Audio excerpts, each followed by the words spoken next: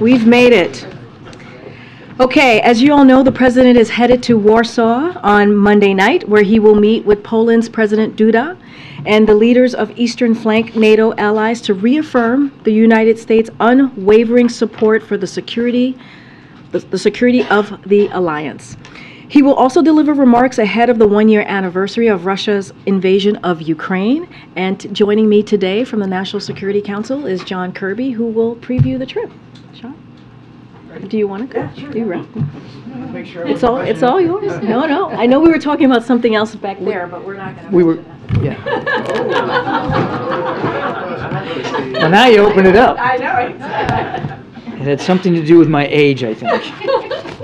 Um, uh, thanks, Karina. I appreciate it. And thanks, y'all, for uh, giving me a chance to come up here and talk uh, on Friday. But um, as Karina just mentioned, uh, the president's very much looking forward to his trip to Warsaw next week, uh, which is ahead, of course, of the one year anniversary of Russia's brutal and unprovoked invasion of Ukraine. Uh, after he lands on Tuesday morning, he will meet with President Duda of Poland to discuss our bilateral cooperation as well as our collective efforts to support Ukraine and to bolster NATO's deterrence.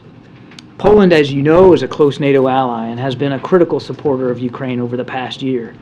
President Biden will thank President Duda and, in fact, the Polish people for the $3.8 billion in military and humanitarian assistance that they have provided to Ukraine over the past year.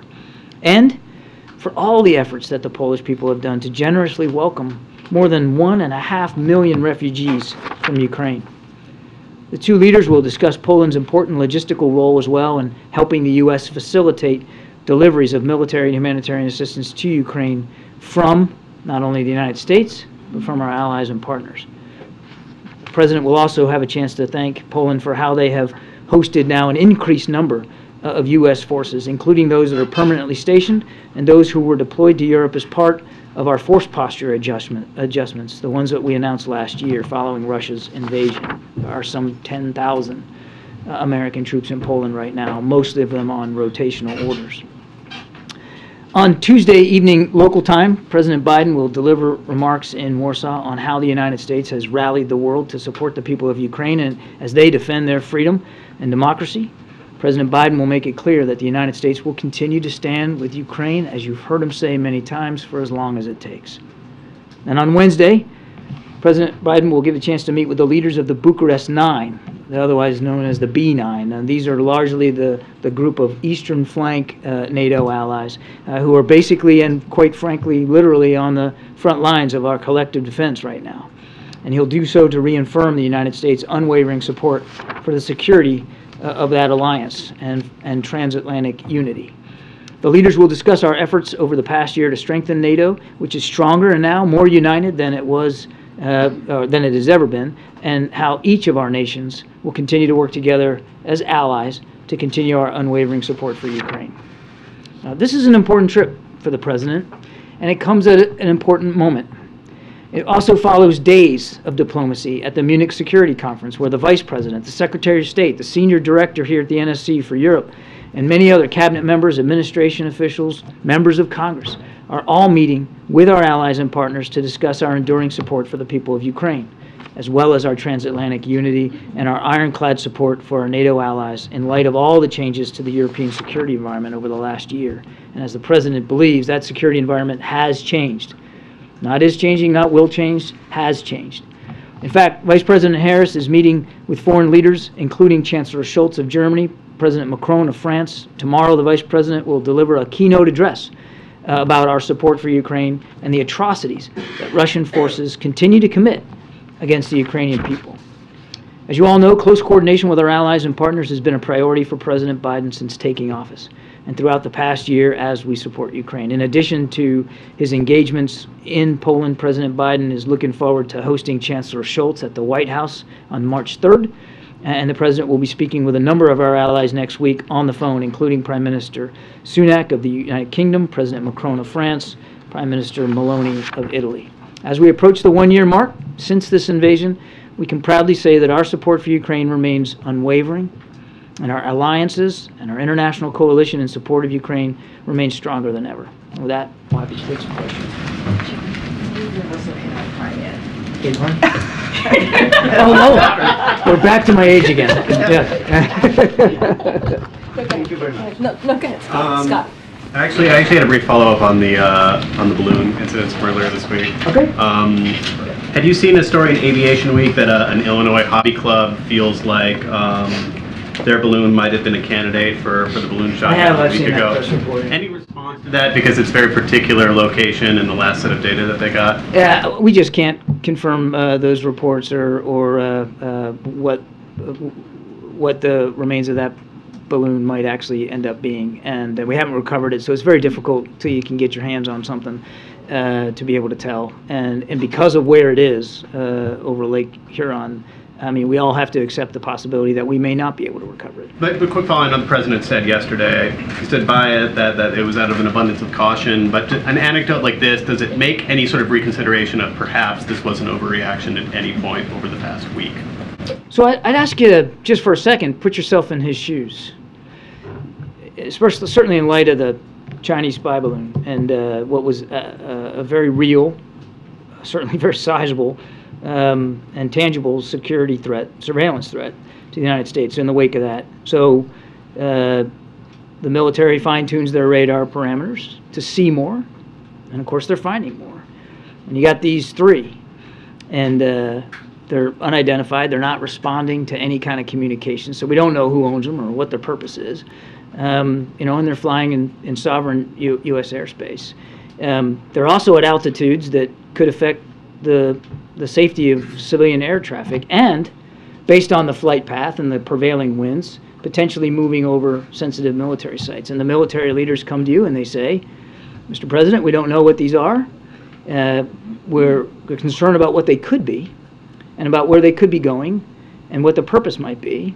A- And we recommend that you, you take these down uh, in the safe, in- you know, in the interest of safety and security of the American, people and out of an abundance of caution. The president acted on that recommendation because he takes so seriously his responsibilities to protect this country, our secrets, our interests, and our people.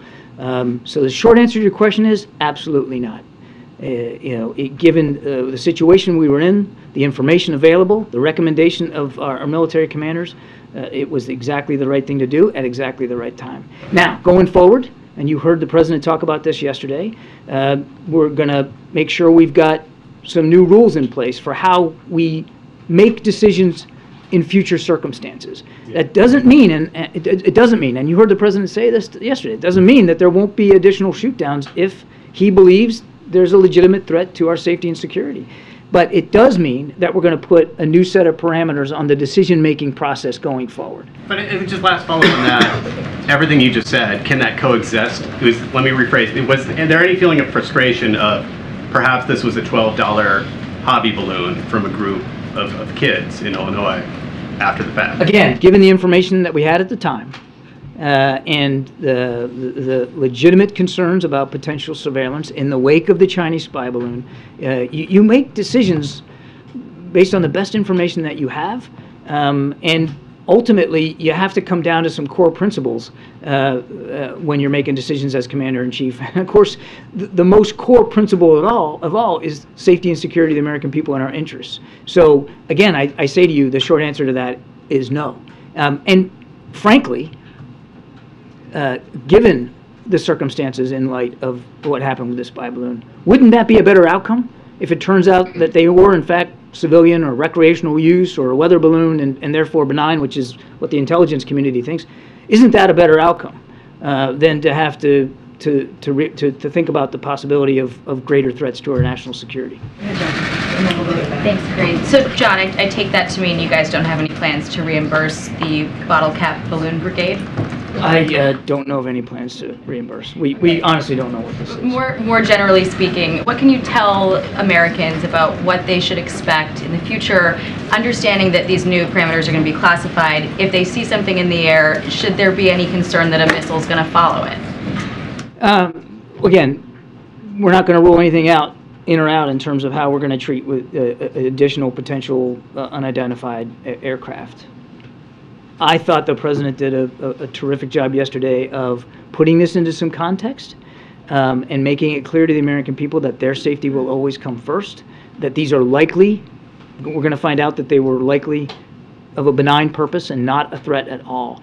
So there shouldn't be any overarching concern by the American people that uh, that the skies are somehow full of attack balloons uh, or that they're that they're at greater risk. If anything, you, you look back at how we dealt with this again with information that we had that wasn't complete, but yet uh, legitimate concerns about a threat, and, and and dealing with that threat safely and efficiently. Nobody hurt. Nobody hurt as these balloons were taken down. And I think that that should give the American people a, a measure of, of comfort and, and, and confidence. But the president wants to make sure that as we go forward, we do so smartly and we do so effectively. And that's why he wants a set of new rules determined so that we can now deal with these in a, in a, in a perhaps a different way, go, you know, go in the future. While we have you here, what can you tell us about this ISIS raid in Syria? Yeah, so I think you saw uh, Central Command uh, put a statement out um, that uh, last night U.S. military and SDF partnered forces conducted a helicopter raid against an ISIS senior leader, a man named Hamza al Hamzi. Uh, and he was overseeing the group's deadly terrorist network in eastern Syria before he was killed in the raid. Um, uh, as the Pentagon has reported, an explosion during the raid also uh, resulted in four U.S. troops and one of the working dogs uh, suffering some uh, some injuries. The troops and the working dog are in stable conditions. They're being treated at a U.S. military facility, U.S. Uh, medical facility uh, in uh, in Iraq, and I think the Pentagon will have more information on that. Okay, in the back. In the back. Thanks, Karine, and thanks, John. Um, so first, um, two questions. First will the American public eventually find out what these three unidentified objects are, including which companies they belong to or which specific benign purposes they had? We would like nothing better, but I can't sit here and promise you that we'll get to that level of fidelity of detail. Uh, a lot of it's going to depend on an ability to recover these three objects. And just to remind you, one's on sea ice in the uh, north of uh, north of Alaska in Arctic conditions, extreme, extremely bad winter weather up there. They have not been able to really mount anything on the ice to find them now. The others in the Yukon Territory, thick wilderness, um, and as, as of today, I don't believe the uh, Royal Canadian Canadian Mounted Police uh, or their investigative uh, uh, uh, organizations have been able to get to it and then the other one fell uh, over Lake Huron, uh, again in very deep water. I think the Canadians have decided that they're not going to look for it anymore. I don't believe that the United States has, has made a call on that yet. So, pretty tough conditions. Going to be very difficult to find them, let alone once you find that debris, be able to do the forensics to identify it. So, I, I can't promise you that we'll know definitively one way or the other. Question on um, President Biden, uh, Biden's talk with Xi Jinping. So as the administration is trying to ease tensions, um, the House Select Committee on China is trying to focus on human rights abuses by the regime by planning hearings, etc. on that topic.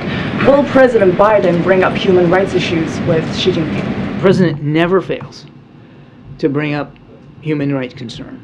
And when he met with uh, President Xi in, in uh, Bali, he brought it up then. Um, and it's not just with President Xi.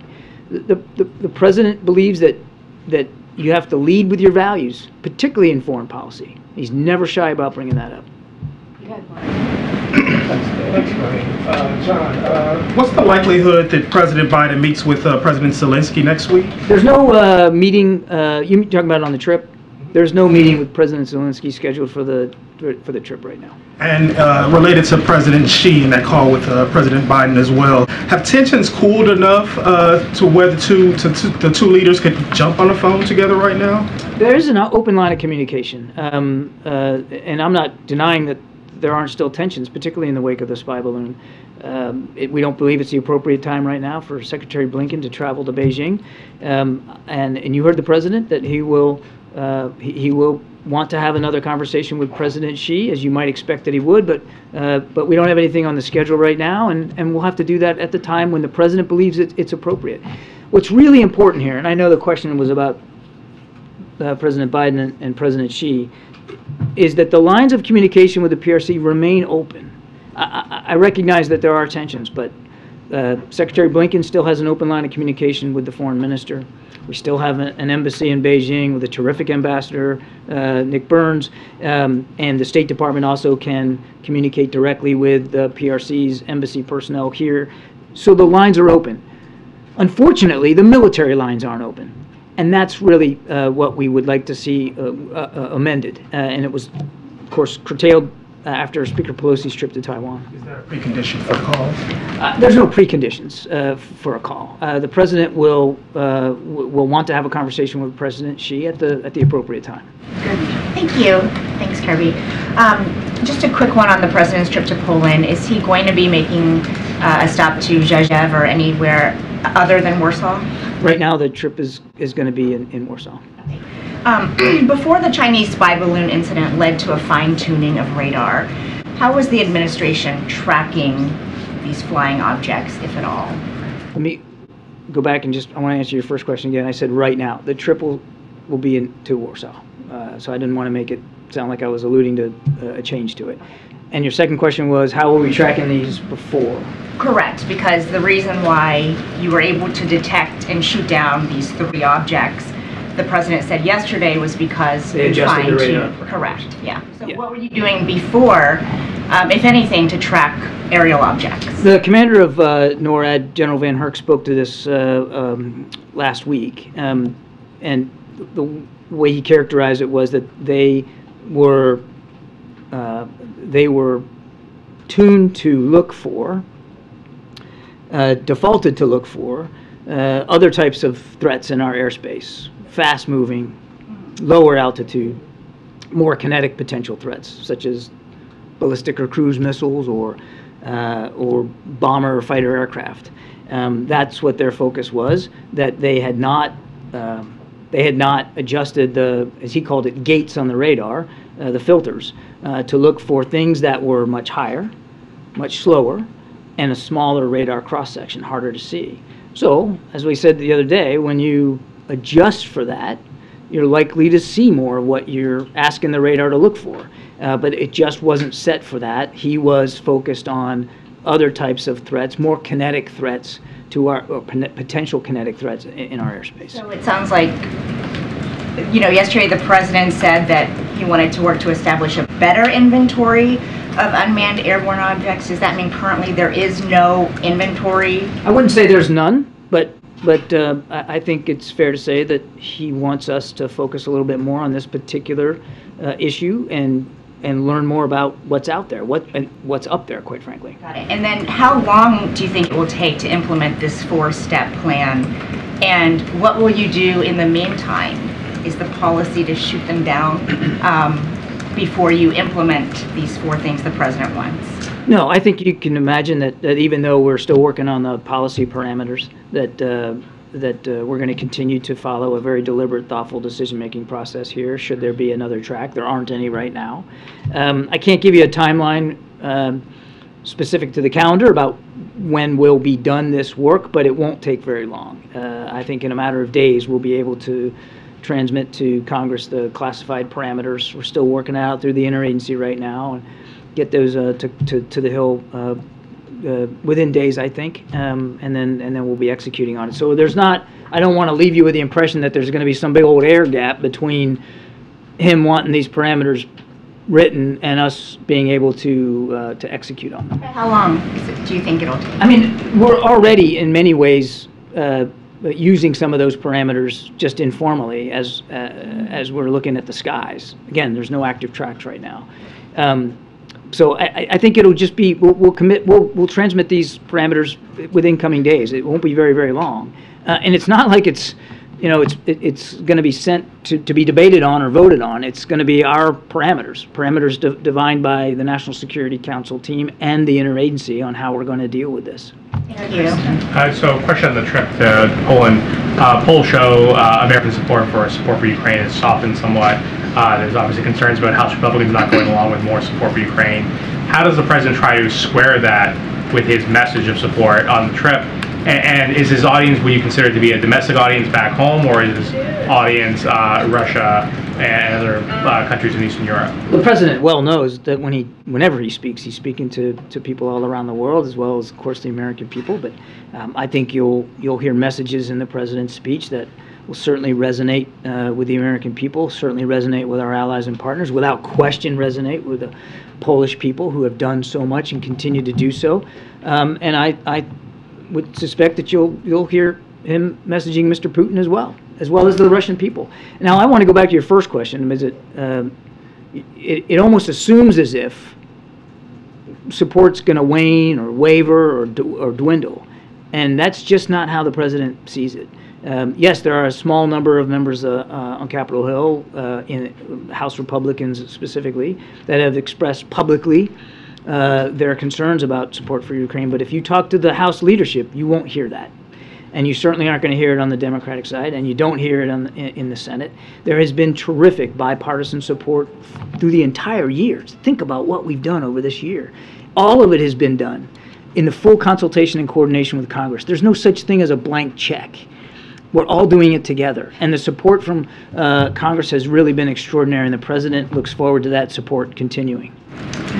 Thank you very much. Is the president prepared to send U.S. fighter jets to Ukraine? What's the We, current we, we talked about this. I think the president actually got asked this question and he spoke to it. I don't have anything to add from what the president said. I'll just tell you that we remain uh, in constant communication with the Ukrainians about what their needs are. And those needs have evolved as the war has evolved, and we'll see where this goes. If Poland has MiG-29s at Ramstein Air Base, is the U.S. prepared to facilitate the delivery of those MiG-29s? if Poland I don't know of any request by the, the Poles to, to transmit their uh, M20, their, their MiG-29s to, uh, to Ukraine.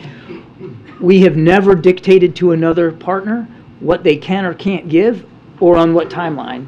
Uh, And if, uh, if one of our allies and partners pr- wants to provide fighter aircraft to President Zelensky, that's certainly a sovereign decision that they have every right to make, and we would welcome that. My last follow-up on this, there's $100 million in the appropriations bill in July uh, to train Ukrainian fi- pilots on U.S. aircraft. What's the status of that training? Are there? There's no there- training underway uh, right now uh, because there's no, um, there's no commitment by the United States to provide fighter aircraft. But you don't have to have a fighter aircraft to do the training. There's so- no training underway right now, but fighter pilots. Thank you, Karine. Uh, On President Biden, uh, President Biden's trip to Poland, uh, can we expect any deliverables during this trip, like a new military package for Ukraine or a new framework uh, of support for Ukraine? And another one, you just mentioned uh, at the beginning of this uh, uh, press briefing that there are 10,000 U.S. troops in Poland. Why there's no uh, meeting with the troops on President Biden, President Biden's schedule? The president routinely visits with the men and women of the military and their families. So does the first lady. Um, I- you can't look at a single set of remarks he ever gives, including yesterday, where he doesn't call out the troops and, and how prideful he is in them. Um, this particular trip uh, uh, is a short one, and it's going to be focused on uh, events in Warsaw. Uh, you know, I never, you never want to make it about you when you're up here, but as a veteran myself, I can promise you I never worried, ever, uh, when he was vice president or certainly as president, about his concern for the welfare of uh, the men and women in uniform and their families. Not a single bit. And what about the first question? On I was trying to ignore, I was trying to ignore the first question. I, I thought that if I was eloquent on my second answer, so I'm not going to get at the president. I think you can understand that. We have been consistent in rolling out additional security assistance packages to Ukraine on a fairly routine and regular basis, and that will continue. I'm not going to speak, uh, get ahead of the president's remarks. After you've uh, spoken with other allies, sorry. I will say that, that I think you'll hear from the president in his speech continued tangible support for Ukraine going forward. I mean, there, there, there, he will talk about the ways in which we're going to continue to support Ukraine going forward. So on the balloon question, so you reached out to allies, told them that, you know, you believe that these balloons have been sighted over, you know, dozens of countries. 40 to 50. 40 to 50. Have you asked other countries to take action against those balloons? And have you seen an increase or decrease in the sightings and the activity since this all became public? No, the purpose was not to ask them to take action one way or another. These are, again, sovereign decisions that nations have to make. It was about informing them of the context, the forensics that we did to learn more about this program um, and the ways in which their countries uh, may have been overflown in the past. Following up on Mark's question, um, Zelensky today spoke at the Munich Security Conference and he asked the West urgently, appealed to the West to provide more, bigger, heavier weapons more quickly because everyone fears the offensive that is is expected. So, I, you know, what do you say to Zelensky? What will Harris say when she, you know, is You can't hardly blame him, can you? I mean, one year on, uh, how many millions flown, flown into refuge inside and outside the country, how many soldiers killed, how many towns and cities destroyed, how many hospitals and schools bombed. Can't blame President Zelensky for wanting more, heavier, faster. I mean, he's a, a commander in chief in a time of war, a war he didn't ask for, and certainly had uh, uh, was there was no justification for it. And we understand that. We also understand the clock, and we know that uh, uh, that that time is critical here, particularly the time in the wintertime uh, now, when the fighting is not quite uh, as widespread across the country. There's a, quite a bit of vicious fighting in uh, in and around Bakhmut. Um, uh, in fact, I'd like to talk about Bakhmut in a second, even though you didn't ask about it. Um, uh, so we're going to try to do what we can to use this time to get Mr. Zelensky as much as possible, as fast as we can, so that when the weather improves, and we all have to assume and expect that the Russians will want to go back on the offense. Uh, right now, they're fighting over Bakhmut, but it's possible that along that arc, from northeast to southwest, that they may want to uh, renew their offensive operations. That he's ready for it, and that if he chooses to, he can go on the offense as well. Um, you didn't ask about Bakhmut, but I, I, I, I want to mention it just uh, briefly a little bit. I mean, I, we've talked about Bakhmut in the past. Um, no strategic value to the Russians. Uh, seems to be an operation almost exclusively run by Mr. Prigozhin and the Wagner Group, uh, uh, more than it is the, the Russian Ministry uh, of Defense. Um, they have made incremental gains in and around Bakhmut uh, over the last few days, and, and we certainly can't predict one way or the other. I mean, it, it is possible that you know they might end up being successful in Bakhmut, but it will prove of no real worth to them because it is of no real strategic value. Uh, the Ukrainians will continue to maintain, uh, we believe, strong defensive lines across the Donbass, and will be uh, and still are fighting very, very hard for Bakhmut. Um, but I do want to say this about the Wagner Group um, particularly uh, with respect to, to Bakhmut. I mean, again, they're treating their recruits, largely convicts, as basically as cannon fodder, throwing them into a, a literal meat grinder here uh, in human ways without a second thought. And while fighting in Ukraine, we estimate now that Wagner has suffered more than 30,000 casualties, including approximately 9,000 killed in action. About half of those who were killed, Wagner folks, who, uh, contractors who were killed, were killed since mid-December. So think about that. Two and a half months, 9,000 killed, as the fighting in Bakhmut has intensified. Based on previous intelligence, we estimated that about 90% of those killed in the December fighting alone, just in December, were convicts. Men that he just plucked out of prisons and threw on the battlefield with no training, no equipping, uh, no organizational command, just throw them into the fight. 90% killed were convicts. We believe that Wagner continues to rely heavily on these convicts uh, in the Bakhmut fighting, and that doesn't show any signs of abating. I know you didn't ask that question, but I wanted to get that out there. Yeah, thank you. Does it remain the case that no companies, institution, or institutions, or other entities have come forward to the federal government to ca- claim possible ownership of the three objects that were shot, uh, shot down? As far as I know, it is true that no one has come forward to claim ownership. Okay, and so that Illinois group, they've not come forward? I'm not aware of any f- formal process or official process on behalf of that group to come forward. We've seen the press reports. Have you identified any possible entities uh, that that could be responsible for Not that? I'm aware of, no. So you have no possible leads on, on where We- uh, we- these we- objects might have come, come We don't, sir. And uh, I think it, it'll be very difficult to make some sort of positive identification unless you can get to the debris, and, and even that could be uh, a difficult process. on the process. debris? I mean, there's no way to identify it without looking at the I mean, unless, a- unless an organization comes forward and knows definitively that, that it was their property, but I mean, even that might be difficult for that entity to know. Is the government going to try to reach out to this Illinois amateur? I know of balloon no outreach to that group. We don't have uh, the debris. There's no way to, uh, there's no way to positively identify it. Thanks. Thank you. One quick question regarding the Chinese balloon. Can you tell us what's been determined from the wreckage that was found from that particular balloon? No, I can't because we're not done doing the an- analyzing. Um, they uh, they did finish their recovery operations off the Carolina coast. They got uh, almost all, uh, at least that which was recoverable, and it's quite a bit. It's a significant amount, including the payload structure as well as some of the electronics and the optics, um, and all that's now uh, uh, at the FBI laboratory in Quantico. They're analyzing it. They're looking at it, um, and we need to let them do their work in a thoughtful, deliberate way I want to caveat all this by saying there may be some things we will not be able to disclose, and I think you can understand why that is. But we're going to exploit this material as best we can. We learned our lot already from the bloom by surveilling it while it was flying over the country. We're going to learn even more, we believe, by getting a look at, at the guts inside it and, and see how it worked and what it was capable of. What about the information the Chinese was able to learn about the U.S. based on that surveillance? Um, again, we'll, we'll have to we'll have to uh, get inside it and do the best we can on the forensics of it.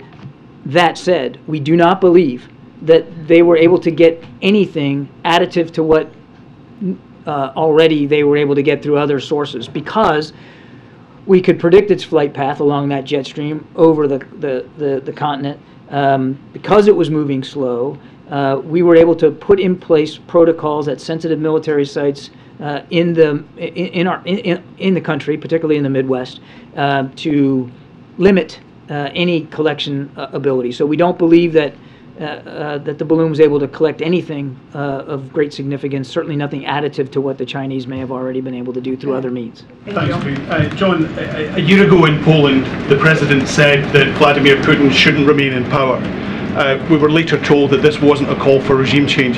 Given that we're now one year on, the war has dragged on this time, is there any change in the US approach? Do you think removing Vladimir Putin from power in Moscow would help bring an end to this war? There's no change in our policy with respect to the, uh, the, the, Russian government. Um, uh, what, what could end the war is real simple. I mean, it, it ain't hard. All he's got to do is take his troops out of Ukraine. They don't belong there anyway. Pull them out. The war would be over. Thank you very much, Karine, and thank you, Admiral. Two questions about this whole series of, of military uh, shootdowns.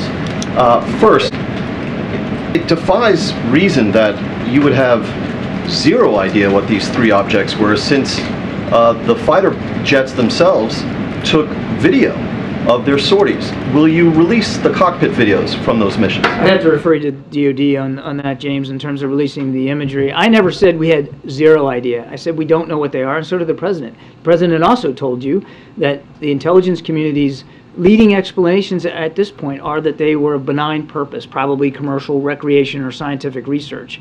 But uh, we, we, we may not be able to go to 100% certainty on that unless or until we can get to the debris and analyze it. And as I said earlier, that task alone is going to be very difficult. And I can't predict with certainty that we're actually going to be able to get uh, recover the debris. But we never said we had no idea. We have. We can't prove definitively. The intelligence community has helped us try to do some uh, analysis on this, and that's their leading explanation. So you have tried to uh, portray this entire sequence of events as one in which the commander in chief demonstrated um, good judgment at the right time and did the right things. Um, the president's critics obviously see it differently. And what they depict is a commander-in-chief who, uh, according to the Washington Post reporting, uh, was able to track this uh, Chinese spy balloon from the inception of its mission off of Hainan Island uh, all the way to U.S. airspace and across the country. And eventually that was shot down after the Chinese had had a good look at whatever they wanted to see with that balloon, and who then uh, presided over a, a, series of missions in which uh, millions and millions of dollars were spent and, and missiles were fired at objects that you now concede most likely were benign in nature. And that suggests a commander-in-chief who um, overreacted after allowing the Chinese spy balloon to do what it did, and then went trigger happy on a bunch of kites and, and balloons that had no military threat to them. What do you say to that depiction of events? I've already, I've already reacted to that exact criticism in the first question of the briefing. I've already reacted to it. Nobody, no Americans in the air were hurt. No Americans on the air, were, uh, in the ground were hurt. James, no significant surveillance achieved by the Chinese spy balloon. Um, and uh, and now we have an opportunity to learn even more about this program, a program that we started to really study in earnest when we came into office. Um, no apologies here. You make the best decisions you can with the information you have, and at the recommendation of the leaders uh, uh, in the Defense Department who are going to have to execute on that mission. The president did exactly that. He put the safety and security of the American people first, and he will never apologize for that. Knowing everything you know now, knowing everything he knows now, would he take the exact same steps and shoot off these expensive missiles at these benign objects? We're going to put some more pol- policy parameters in place, James, to govern the way we handle these going forward. You make the best decisions you can with the information you have at the recommendation of military leaders. I can't say it any more than that. Thank you, Karine. Um, John, you've said often, actually, let me just really clarify one more thing before I move on to Ukraine. Um, Have we I can't imagine anything I said needs to be clarified. yes, have we uh, put forward the formal request to the Chinese for the call with President No. Xi? Okay, so there's no formal request just yet? No. Okay. Uh, and That doesn't mean it's not going to happen, or the president still doesn't want to talk to President Xi. He will. Understood. Uh, On Ukraine, you said often that Ukraine gets to decide when it wants to negotiate, but at this point, is there any serious effort, or is there any effort from the administration side to look at pathways to peace? Um, Do we have any idea of what those pathways to peace might look like? Is it even realistic at this point, absent of Putin stopping his aggression? We're working with Mr. Zelensky on his 10-point proposal. I think you're all familiar with that. And uh, he asked if uh, the United States would- could devote some of our team to help his team sort of figure out how we can best operationalize that proposal, and that work is, that work is ongoing. Okay, and um, I think part of the problem with the pathways to peace that doesn't seem like it's realistic at this point is, you know, the, the issue on who keeps what territorially, that just seems like it's way off in the future. Why do you think it's not realistic right now? I don't know, is it, do you think that it's realistic? Is, Do you what think is Mr. it? Putin has shown even a scrap of interest in ending this war? Uh, like I said, a war could end today? No. And what's he doing instead? Launching cruise missiles and drones into civilian infrastructure, knocking out the power, knocking off the heat, um, uh, killing kids, uh, sending kids to, to camps inside uh, Russia, um, buying drones from, from Iran and trying to buy artillery shells from North Korea. This is not a man who's at all serious about ending this war. And quite frankly, it doesn't, it, it shouldn't have to end through negotiations. Now, that's likely the way this will go when President Zelensky's ready for it, but he could end it now just by pulling his troops out. He has shown no indication of being willing to do that, and so there cannot be a serious peace proposal or negotiation until the Russians have shown even a scrap of interest in actually stopping the murder and the slaughter of innocent Ukrainian people. And in the meantime, as President Zelensky very eloquently said uh, over in Munich, uh, there's a need, a real need, an urgent need for the, the rest of the global community to come together and support him so that his troops can succeed on the battlefield. And that's what we're going to stay focused on right now. Okay. So that if and when he does negotiate, he can do it with a position of strength. John, one on each topic we've been talking about right here. First, as it relates to the Chinese spy balloon, given the reporting that the U.S. was monitoring and were aware of it since its departure from China, much the same way that they shot it within the 12 miles off the coast of South Carolina, why not make an active decision to shoot it in the 12 miles or the miles off the west coast as well? Why not shoot it before it was over U.S. land Without speaking to the without speaking to the veracity of this reporting, um, uh, uh, I would uh, and and the specific nature of our ability uh, to, to track it. Uh, the Northcom commander, NORAD commander, uh, General VanHerck has already spoken to this in terms of why he didn't uh, take action at the time. Wasn't that wasn't he speaking to when it was over the United States? No, he was not speaking to, he got asked specifically about, About the territorial about approaching Alaska and, and, and why he didn't take action, and he talked about, he talked about no hostile intent, no hostile threat, um, and concern for, uh, uh, for lives and livelihood on, on the ground. Do we have a domain awareness gap? He has said, he has identified a, a domain uh, awareness Is that being gap. assessed as part of this review that's taking place in some So form? it's not a review, we're simply developing. Part of this effort. We are developing new policy parameters uh, that are going to be helping us with the decision-making process, Peter. Now, Van- General VanHerck talked about a domain awareness gap. Some of that gap uh, has been addressed by fine-tuning the radars and making them more sensitive to things that are high, slow, and small.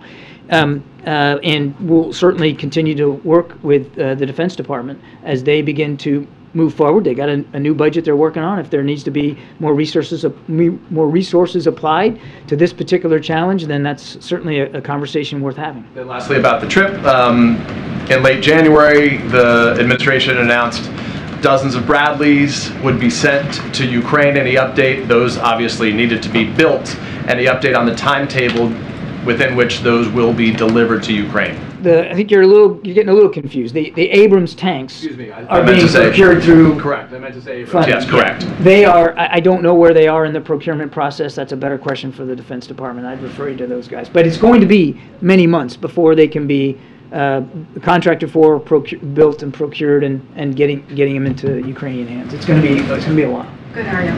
Thank you. Um, When the president says he's going to support Ukraine as long as it takes, does it mean that if President Zelensky decides to launch a battle to retake Crimea, the president would support him as well? And another question, uh, can you confirm that the top Pentagon official has arrived in Taiwan for a visit? On the first question, I'm not going to get into a hypothetical. I'm certainly not going to hypothesize about potential future operations that the Ukrainians might or might not conduct. That's up to President Zelensky and his team. When President Biden says as long as it takes, he means as long as it takes. He's not trying to be cute by half. There's there's uh, there's no special way to interpret that. He means as long as it takes. Hopefully, it won't take any longer than another day or so. But I think we all know that's not the case. Uh, so when he says it, he means it. And uh, I think all you got to do is look back at the last year, um, at the at the unprecedented amount of assistance, security assistance alone. Forget about the just the financial and humanitarian assistance that the United States has not only provided but led the world in providing. Um, so he stands by that. And I can't confirm your other question. You'd have to talk to my colleagues at the Defense Department. I don't I don't, I don't have detail on the schedule. Um, do you, are you, are you able to provide any update on whether there are discussions of other Western leaders coming to Poland while President Biden is there? Um, there have been uh, rumblings that Rishi Sunak could come Rumblings? or Macron. That's the best word I can come up with. Grumblings that what? what? Is that uh, Rishi Sunak, Macron could could come to Poland while the president is there next week? Yeah, I, I don't know of any plans that you'd have to talk to their offices about their travel. As I as I said, he does look forward to meeting with the the B9, the Bucharest Nine leaders. So there will be leaders from uh, the eastern flank countries of NATO coming uh, to Warsaw to meet with the president, with President Duda. Uh, I do not know about.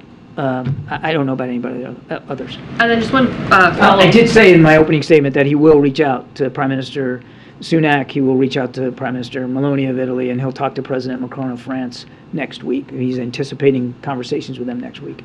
Okay, thank you. And then does the White House have any sense of when it will need to go back to Congress and ask for another uh, security assistance package for Ukraine?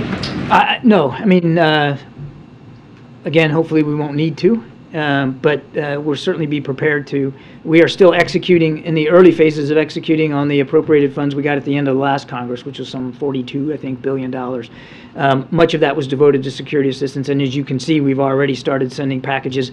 Um, and we believe that this funding will get us through much of this year, and I just don't have a date certain where I would tell you we'd have to go back. But obviously, if we feel like we need to, back to the president's comments about as long as it takes, we'll do that, and we'll do that at the appropriate time, uh, well in advance of the expiration of any existing funds. Natalie? No. Priscilla. Priscilla. Yes. Well, welcome Well, to you got close. Thank you. No, not close at all. I was trying to be nice. Well, welcome to the briefing. Thank you.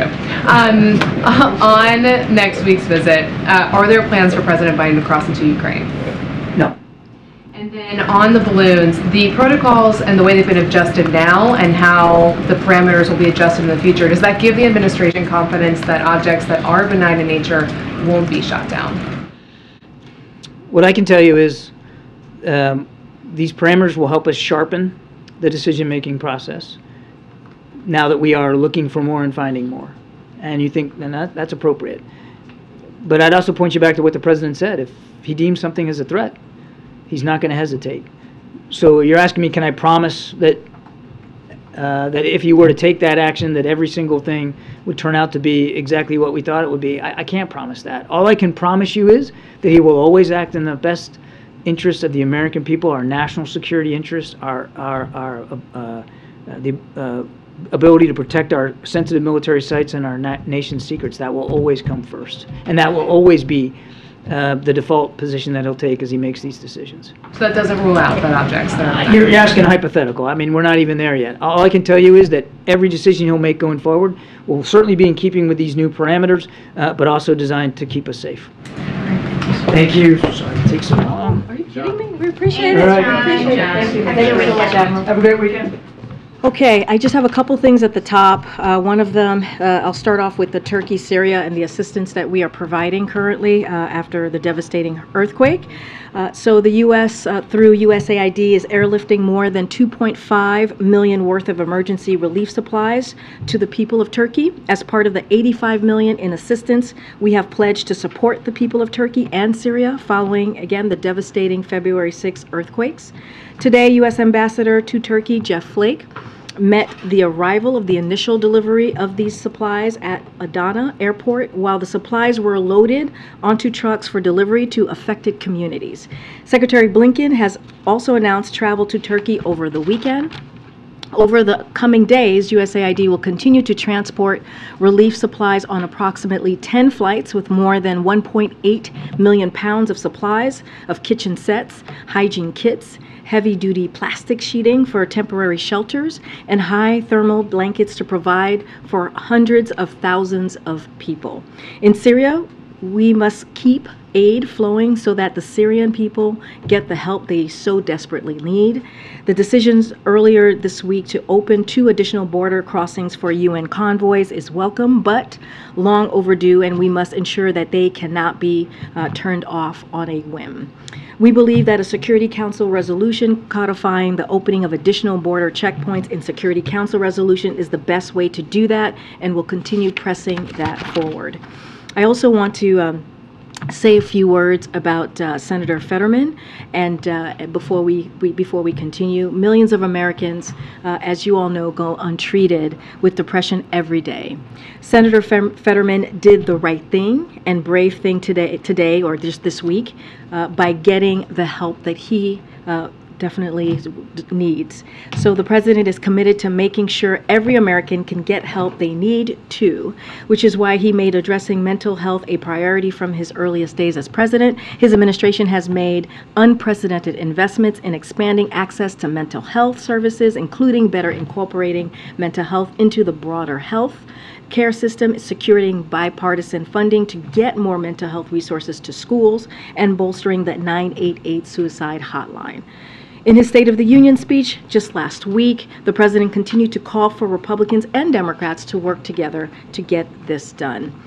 As the president and first lady shared this morning, they are thinking about John, Gisele, and their entire uh, Fetterman family today, and uh, they they are grateful to uh, Senator Fetterman for uh, being an example uh, to this. And briefly, and last, Uh, I want to say to all of you, yesterday Secretary Walsh announced that he will step down from his role as Labor Secretary in the upcoming weeks. As the President said in his statement about the Secretary's departure, Secretary Walsh is one tough union chief, and his record at the Department of Labor is a testament to the power of putting a card carrying union member in charge of fighting for American workers. Through the Secretary's leadership, the administration has helped unions secure a historic pay raise for rail workers, continued the fight for paid sick days for all American workers, strengthened workplace protections, and ushered a historic surge in union organizing. Secretary Walsh's work has made life better for millions of working Americans and will serve as a model for all future labor secretaries who truly value American working people. We certainly wish Secretary well in all his in all his future face-offs and also puck drops. So good luck to you, Secretary Walsh, and uh, and we can start the briefing. Okay. So, uh, question on uh, House Oversight Committee uh, wants to examine the U.S. pullout from Afghanistan. Uh, a second, you know, Republican-led investigation into the withdrawal. Does the White House plan to cooperate this investigation? How does it feel about it? So I'll say this, we have been providing Congress uh, with information on Afghanistan and the operation for this past year, uh, so don't have anything to add there. Uh, As you know, the White House counsel is very much focused on uh, the oversight. They're the ones who are answering questions and dealing uh, with, uh, with the letter. Cer- Certainly, we'll take a look at the letter, so um, I would, uh, I will let them uh, speak to this. And what's the status of the administration's own internal reviews? A lot of talk about this. Is, is that ever going to be finished or released publicly? Uh, So it's, uh, don't have any update on the review. I know that's been asked a couple of times. Uh, I know that uh, Jake Sullivan came and spoke to this some time ago, our national security advisor. Just don't have an update uh, for you all, and once we have something to share, we certainly will provide it. Get, uh, get an update on for next week. I, I would have to, I would have to honestly speak to, uh, to Jake Sullivan, the National Security Council team. Uh, but I know that that came, that's come up a couple of times here at the podium, and he spoke, spoken to this. I would just have to go back to them and, and get some information for you. Thank you. Uh, Regarding Senator Fetterman, while the president was at Walter Reed yesterday, did he by any chance uh, see the senator there? I don't have any, uh, I don't have any uh, meetings or conversations with uh, Senator Fetterman to speak to at this time. Okay, and regarding the uh, Memphis police officers uh, charged in the death of Tyre Nichols, as you know, this is a community that's been hurting. I was there in Memphis when the video was released uh, for the funeral. We saw the vice president there. Uh, the, the people there want change in the policing system. Does the White House believe that that can actually happen? And also, what's the sorry, what's the White House's reaction to the officers pleading not guilty? So I, I want to be very mindful because it's an ongoing uh, case, and we are always uh, careful here when there is a, a criminal investigation or a case uh, moving forward. Uh, but I'm just going to reiterate what the president has said before, uh, and uh, you know, nothing can bring back Mr. Nichols uh, uh, back to his family and uh, and also the Memphis community. Uh, he should be he should be alive today, and uh, and sadly, his uh, his family has to continue to mourn uh, the death of uh, the death of their of their loved one. Uh, but we do believe the president does believe that Mr. and Mrs. Wells and and also Tyre's son, Mr. Nichols' son, and his whole entire family deserve a swift and full and transparent investigation, and that's what the president believes, and that's what should be called for. But I'm not going to get certainly ahead of, of an investigation at this time. Thank you. Um, Has President Biden spoken to Senator Fetterman's wife I don't have a, I don't have any, um, any conversation to read out at this time. Uh, As you know, the president has uh, developed a, a, a very good, close relationship with the Fettermans over the last several months. Uh, You saw the president visit Pennsylvania multiple times uh, during the midterm elections, and so they've gotten to know each other. Uh, I think, uh, you know, the president and the first lady put out a very heartfelt uh, tweet, uh, uh, um, just lifting up uh, Senator Fetterman and what he has, what he um, has committed to do for himself and spoken and really speak to uh, an issue that mi- millions of Americans have to deal with every day, and that is incredibly courageous and brave to do. And of course, of course, we uh, we wish him uh, a speedy recovery. On the response in Ohio and the train derailment with the hazardous materials, there's federal officials on the ground. How long uh, does the administration expect for those officials to stay there? And can the White House provide any assurances based on the information provided to the White House on, for the residents in that town? So as you, as I mentioned yesterday, and as you all know, this is uh, certainly a uh, priority for the administration, the health and the safety of the community in East uh, Palestine. Uh, Just a couple of things that I want to say at the top to all of you. So we have mobilized a robu- robust, multi-agency effort to support the people of East Palestine, Ohio. EPA is helping the state test the water and air, uh, collect soil samples, and screen homes. The Department of Transportation is helping get to the bottom of what exactly happened, uh, how, what led to the derailment. FEMA has been closely coordinating with the Ohio Emergency Management Agency and federal partners. Uh, the governor uh, said just yesterday, asked for, or asked just yesterday for public health support. And today, as we have announced, uh, and I actually talked about this uh, yesterday, how HHS and CDC were getting involved. And today, they both those both those agencies announced they are deploying a team of medical personnel and toxicologists uh, to conduct public health testing and assessment. So we are committed to supporting uh, the people of uh, Palestine uh, every step of the way, and we are going to be on the ground helping them as long as it, it's needed. And uh, and also we're going to hold Norfolk uh, Southern accountable as well. And we're seeing that. We're seeing that accountability. We're already doing that process. Karine, you've got a bunch of personnel changes happening at the White House and openings. How quickly, excuse me, how quickly will you be announcing nominees for uh, the Labor Department job and uh, to replace, um, you know, um, the uh, uh, Lael Brainard at the Fed? And then just in that context, there's a report out that Carla Frank is also leaving, if you could confirm. Th- say the last part? Frank is political. Okay. Um, Don't have any, uh, any personnel announcements uh, to make at this time. I can say to you that under the Department of of Labor statute, Julie Su will serve as an acting secretary, which is common.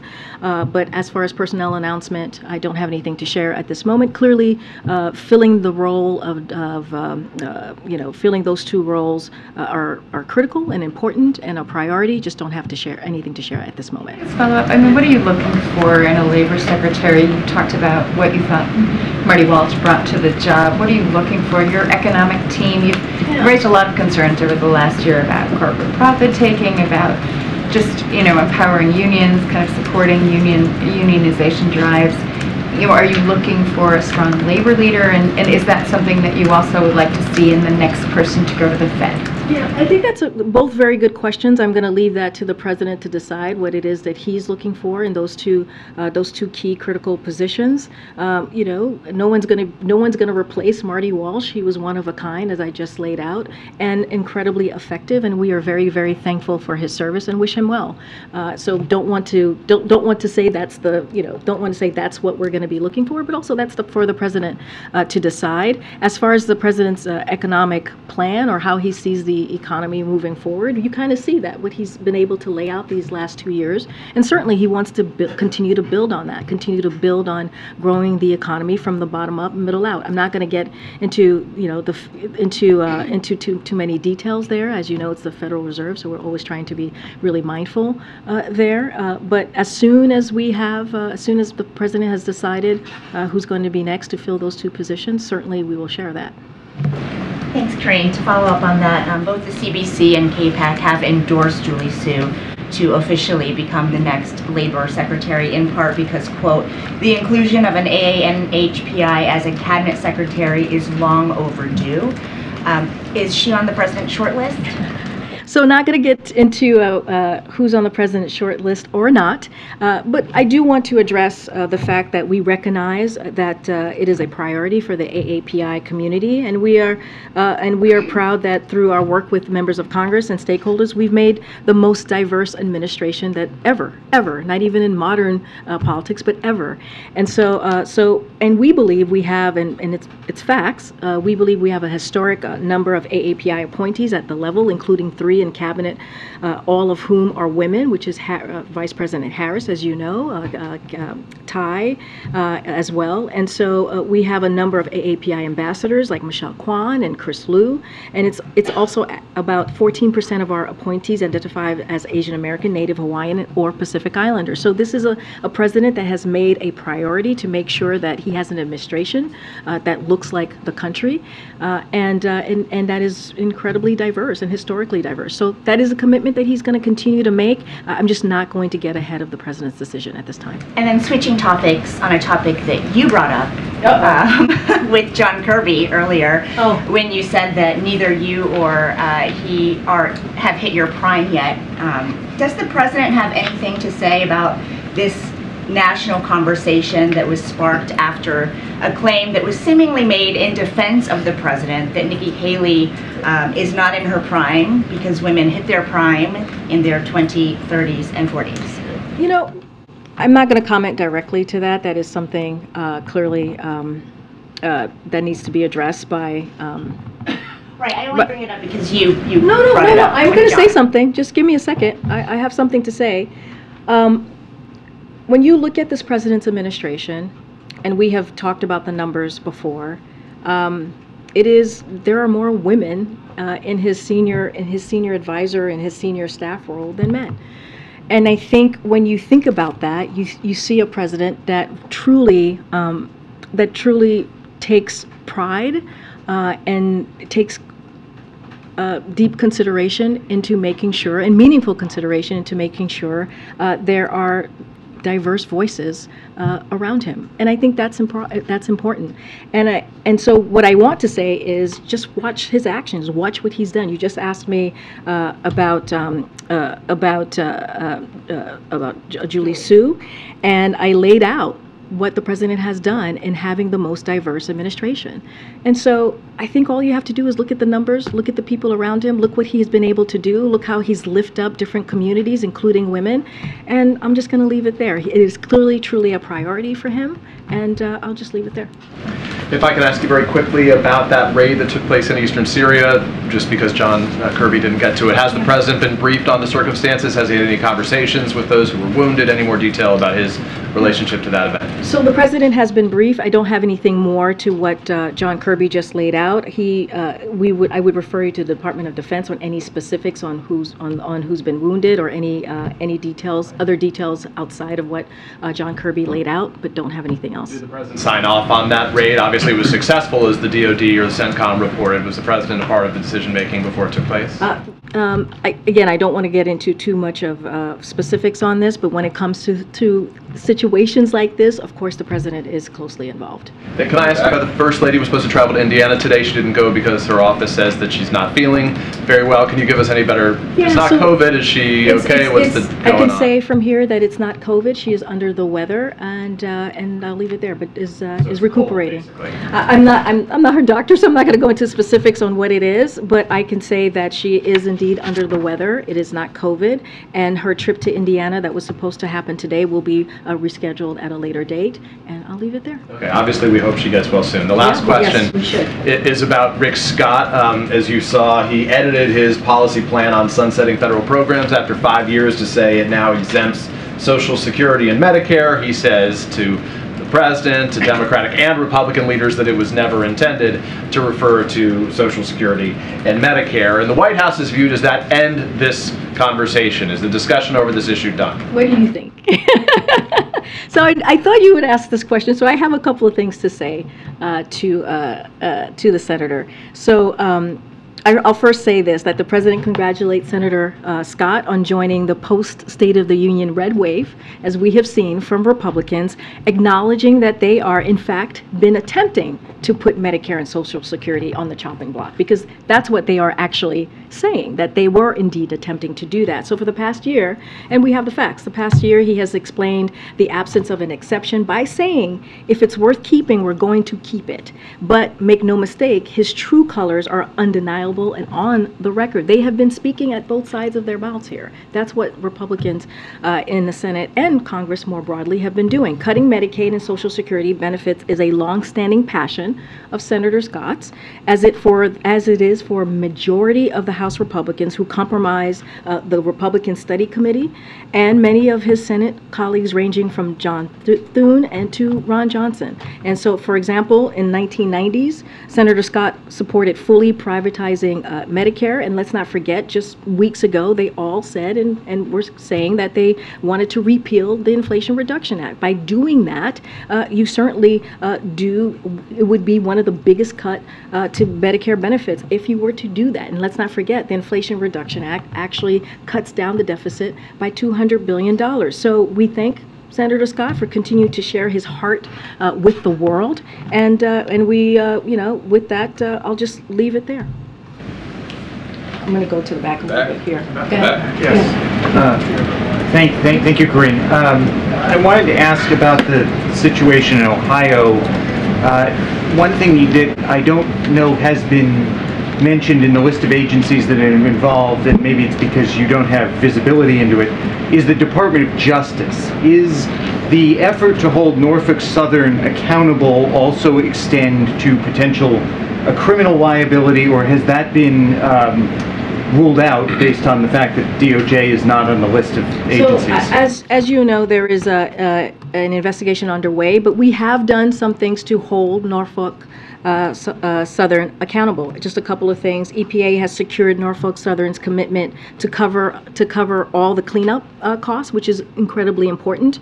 And they're requiring the railroad to uh, document the release of hazardous con- containments. There's also an active, as I said, investigation underway. Once the investigation is complete, the federal government will uh, use all available and appropriate authorities to ensure accountability and prove all safety. So let's get the investigation going, see where it takes us. But already, we are uh, making sure that they are being held into account.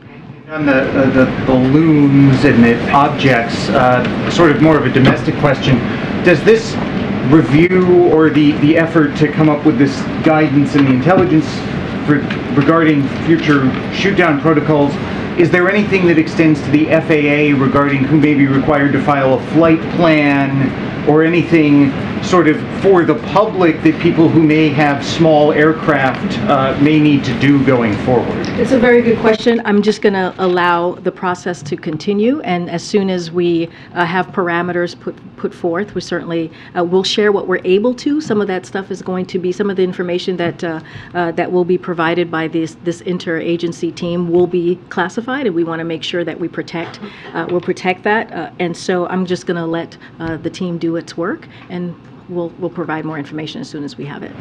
Hey, thank you. Um, thank you. So, asking about credit card debt, a, a New York Federal Reserve uh, study now shows that Americans' credit card debt reached a record level.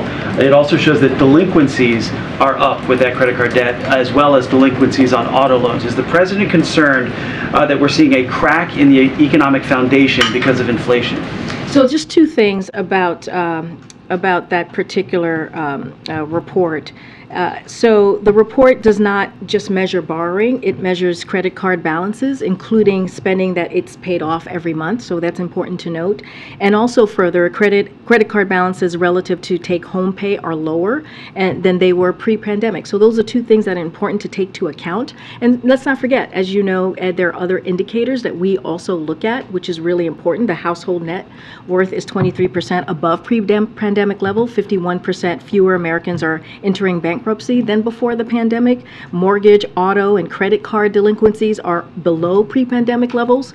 Uh, in fact, mortgage delinquencies are near record lows since the start of the data in 2003. And over the last few years, we've seen credit card scores strengthen and expansion of credit. So we also have to look at uh, the other indicators. And so just wanted to make sure that, and I know you do as well, but want to make sure that we point that out too. So the president doesn't see weakness then in, in the overall economy? No, if anything, I just mentioned where we are. Where I mean, if you look at past indicators that I just laid out, whether it's household, whether it's mortgage delinquency, we are at levels that we were pre-pandemic, and so I think that matters. And let's not forget, we were talking about the economy moments ago. A lot of that is because of the work that this president has done uh, on the economy, because of his economic policy, because he makes sure that no one is left behind, uh, because he came in at a time uh, where the economy was tanking and was able to turn that around and grow the economy. And so I think if you're looking at the indicators and you're seeing levels pre-pandemic, I think that matters. And so that's we're going to look at all the indicators uh, and make sure we point out what, as you're asking me about this credit card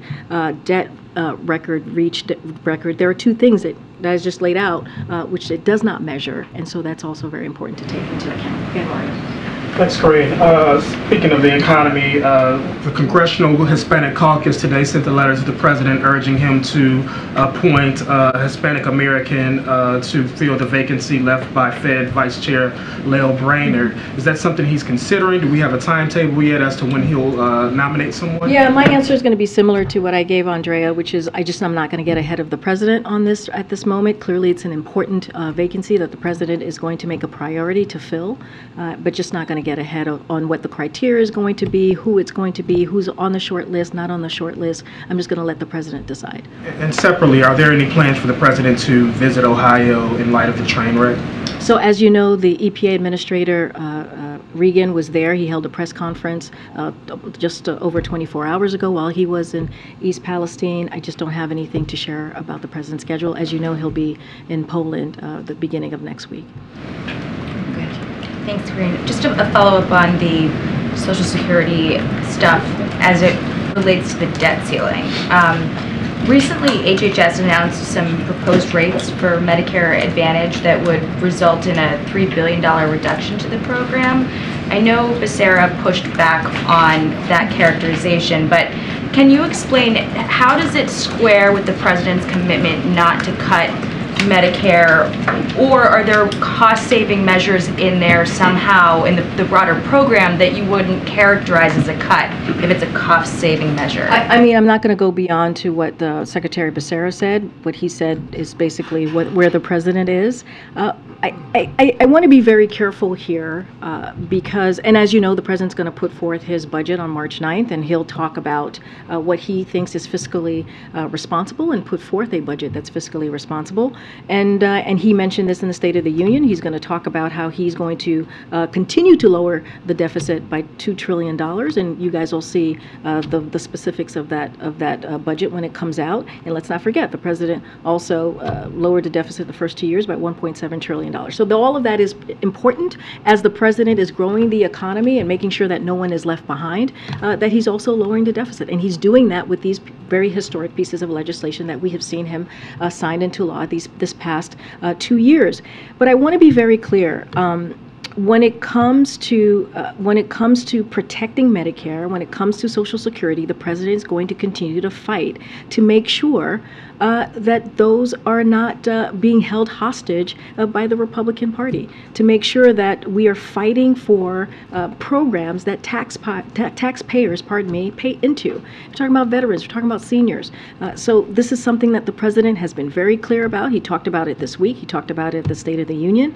we need to make sure those those programs, those life-saving programs for many Americans, millions of Americans, are not played with, just like what Republicans are trying to do. I just laid out moments ago how Republicans have been talking about for years, for years, how they want to cut those really key programs uh, for our veterans, for our seniors. And so the president, again, is going to continue to fight for, for those. Thank you. Uh, thank you. Um, earlier today, uh, when the White House released some background information on Ohio, um, one thing that was said by officials is that uh, if Norfolk Southern backed off the commitment uh, to pay for cleanup, then the administration would be prepared to issue a legally binding order um, to get reimbursed three times the amount. Um, I'm wondering if that was just like a warning or if there has been indication thus far, recent indication from the company, that they could back off that commitment. So I don't have any indication that they are uh, backing off of that. Uh, I just laid out how, uh, you know, they, that EPA is requiring, uh, is requiring or or the, the company has committed to cover all cleanup costs. That is something that EPA has worked very hard on and is making sure that the company is doing. And from what I understand, they are going to do that. And as I said before, there is an investigation underway, and we'll know more. But I don't have any indication of what you just laid out. It, also it was also said that a, CDC team, um, as you were saying, was being dispatched. Mm-hmm. That they're going to be on the ground on Monday. Mm-hmm. I'm hoping you can kind of explain for people just. Uh, why why they're only hitting the ground on Monday. Um, so, why yeah. it's not happening actually now, but also why it didn't happen. This has been going on for a couple weeks now. Well, I, I, want to be very clear. On February 4th, we had uh, folks on the ground within hours. Yeah, yeah, EPA team, but th- this matters, right? This happened on February 3rd, and at 2 a.m. on February 4th, hours after the derailment, the EPA team was on the ground. So I just want to make sure that the American people understand that we did take action and folks were on the ground. Uh, so, uh, so um, so it is like multiple federal agency, again, we're on the ground, not just the EPA within hours. Uh, it is also important to remember that it was a serious accident. Uh, and so when when these incidents happen, you need to let the emergency response take place. So that is important as well. Senior leadership arriving in those initial days would detract from those urgent response uh, response efforts. And when it was appropriate, the EPA administrator went, as you saw him yesterday, and additional agency office uh, officials, as you just mentioned, HHS, CDC, uh, will be visiting soon. But the work is happening. We've been on the ground again since February 4th, hours after uh, the derailment happened and uh, and we are committed. We are committed. This is the the uh, federal government is committed to making sure that the community gets what it needs, and uh, we'll be there on the ground for as long as it takes. Um, Kirby mentioned humanitarian assistance when he was talking about the president's trip, but you know, obviously the president has talked so much recently about the U.S. security assistance to Ukraine. Last year, when he was in Poland, he met with refugees. That was a big part of his message there. How much of this trip will be about that side of it? Will he meet with refugees? Refugees? Will you add some component like that for this So? I'm not going to get ahead of, of what we've laid out. He'll be in Warsaw, as you know. He's going to make a, a major uh, a speech, and he wanted to do this ahead of the anniversary. Uh, as you all know, the anniversary will be a week from today of uh, Russia's brutal war uh, against Ukraine. Uh, don't have anything else in any further details uh, to share on that. He, he mentioned the, the eastern flank, right? The uh, which is incredibly important to to to be there to show to show um, our commitment, our commitment to uh, Ukraine, but also our NATO alliance. And so that's what you're going to hear from the president. Don't have anything more to share on any uh, humanitarian aid or security assistance. Uh, clearly, there's we have done a lot over this past year, uh, and there is uh, there continues to be bipartisan support as you look at that assistance, uh, and we will always share that with you when we're ready uh, to announce more. But certainly, I'm not going to get ahead of the president from here today. Okay, I'm going to take one more. Oh, okay. Oh gosh, I'll take one more. One more, one more. Somebody had called yet. Go ahead, Alex. I'm calling Alex. Thank, thank you, Green. Um, 31 uh, Democrats joined with Republicans to vote against revisions to the DC crime bill, and now that heads to the Senate. And there could be, you know, obviously because the margins are narrower, uh, the, they, they could reject those divisions as well. I, I know this administration supports DC statehood and sovereignty. At the same time, what does it make of the debate over the revisions to the crime bill and, uh, you know, just the issues with public safety in the nation's capital? So, just because you mentioned the House Republican, I just have to say this on the record. It is uh, yet another clear example of why, as you just mentioned, uh, DC deserves statehood. That is something that the president has supported since his campaign and will continue to do so. As it relates to uh, as it relates to the DC crime bill itself, look. The president has never been clear that we must do more to reduce crime uh, and save lives, and that's why he's taken uh, those executive actions that he's done the last two years. Uh, he outlined, as you all know, the Safer Safer America plan. Uh, the president believes that making our communities safer requires a couple of things: funding the police and promo- promoting effective prosecution of crimes affecting families today, from gun crimes to carjackings to fentanyl trafficking, uh, investing in crime prevention, including drug courts, mental health, substance use uh, disorder services, human homeless services, summer jobs, and mentoring for teenagers and young adults. And so all of these things, community violence interventions, and a, and a, a fairer criminal justice system. That is something that the president is going to to continue to push. The third and last thing I'll, I'll lay out is uh, taking additional common sense steps on guns to keep dangerous firearms out of dangerous hands, including banning uh, assault uh, assault weapons ban, which is something that the pres you heard the president talk about just last week.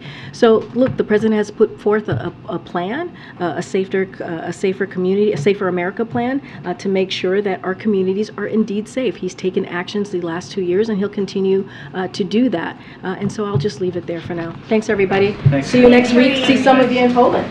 Thank you.